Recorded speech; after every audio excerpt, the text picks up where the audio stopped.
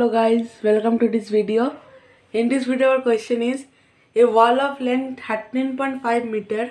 wide 60 centimeter and height 1.6 meter is to be constructed using bricks each of dimensions 22.5 centimeter by 12 centimeter by 8 centimeter how many bricks will be required so let's start first length of wall equals to thirteen point five metre equals to का डाइडेड है one three five zero centimetre now breadth equals to 60 centimeter and height of wall equals to 1.6 meter equals to 160 centimeter therefore volume val equals to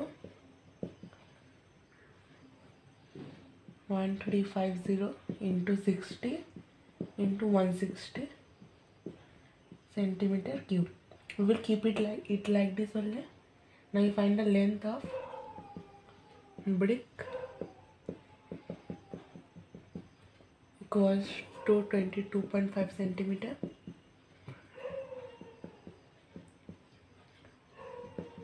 Breadth of brick equals to 12 cm.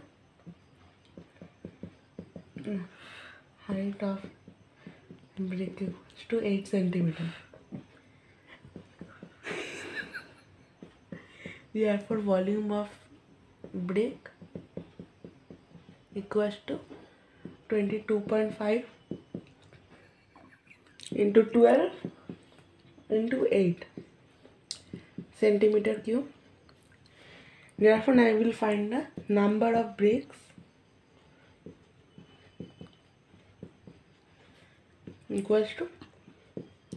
volume of wall by volume of brick.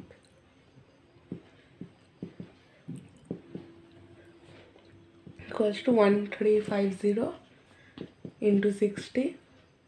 into 160 by 22.5 into 12 into 8 first we cut 8 and 160 1 20, now 12 and 60 1 5 now 22.5 and 1350 it will become 68 the number of bricks equals to 68 into 5 into 20 equals to 6000 so this is our final answer.